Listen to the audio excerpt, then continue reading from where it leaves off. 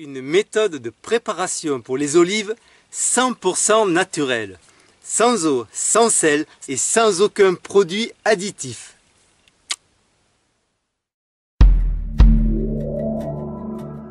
Alors c'est super simple. Une fois que les olives ont été récoltées, évidemment, bien noires, donc euh, on récolte les olives uniquement à maturité, les olives vertes sont des olives qui ne sont pas mûres, tout simplement. Donc, euh, ben, nous avons choisi de les oublier. Et on s'occupe uniquement des olives bien noires. Voilà, ensuite, euh, une fois récoltées, ben, on enlève toutes les petites feuilles, parce que quand on récolte, il y a plein de petites feuilles qui se baladent. Euh, ça aussi, c'est encore un joli petit boulot.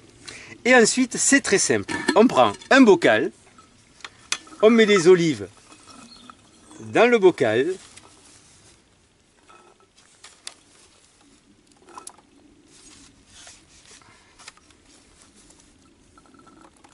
Donc on remplit au maximum, histoire qu'il y ait le moins d'air possible. Donc on remplit au maximum, mais euh, sans les presser tout de même.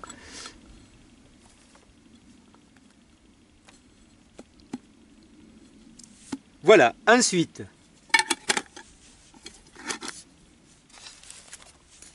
on ferme. Le truc, c'est que ça soit vraiment très bien fermé et hermétique. Et ce bocal, on le laisse un an à la cave.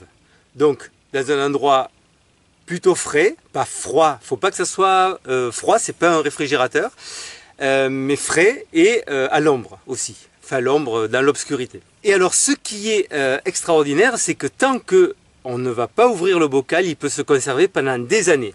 Donc là, voici un bocal qui date de 2014 et elles sont absolument parfaites et absolument excellentes. Alors, elles ont rendu un petit peu de jus. Voilà, c'est normal, c'est le, processus normal. Et elles sont euh, comme gazées, donc le, bocal va être plein de gaz. Donc assez rapidement, au bout de quelques jours, le couvercle gonfle et, euh, et c'est gazé. Lorsqu'on va ouvrir le bocal, écoutez bien, ça va faire signe que euh, tout va bien.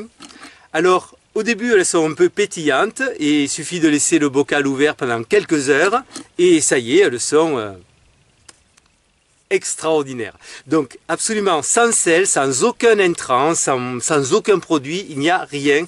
C'est 100% le goût de l'olive. Donc voilà un bocal de la variété Empentre. C'est la variété principale que nous avons ici.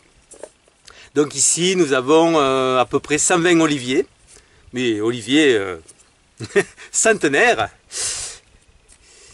Et voici euh, un bocal de la variété sévillane, la sévillana, voilà, qui, est plus grosse, plus claire et qui a une saveur plus sucrée. La, la Empeltre a une saveur plus musclée. Bon, les deux sont excellentes, mais vraiment très différentes. Et euh, donc ensuite, on peut ben, soit garder le bocal comme ça tant que tant qu'on ne l'ouvre pas pendant des années. Euh, ensuite, ben, soit une fois ouvert, ben, ça va se conserver quelques semaines. Si on le met au réfrigérateur, ça se conserve pendant très longtemps, pendant des mois. Ce qu'on peut faire aussi, c'est ouvrir le bocal, en remettre, mettre une partie des olives dans un petit bocal rapidement et refermer le gros bocal ce qui fait qu'elles vont euh, ressortir du gaz. Et donc, si on ferme bien le bocal, très rapidement, le couvercle va regonfler. Donc, tu vois la différence entre le, couvercle bien bombé et puis le bocal que je viens de faire. J'espère que tu entends la différence sur la vidéo. Voilà, on peut même faire de la musique avec ça.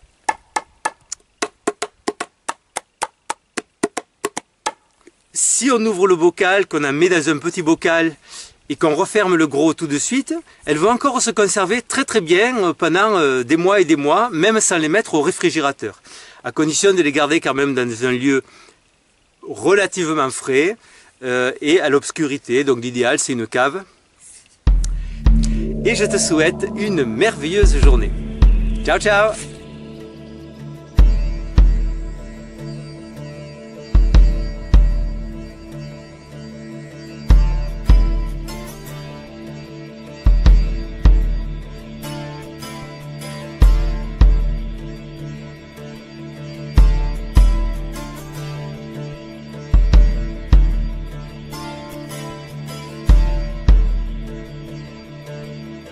Là-bas, c'est si loin que souvent. Là-bas, c'est si loin qu'on imagine, qu'on imagine.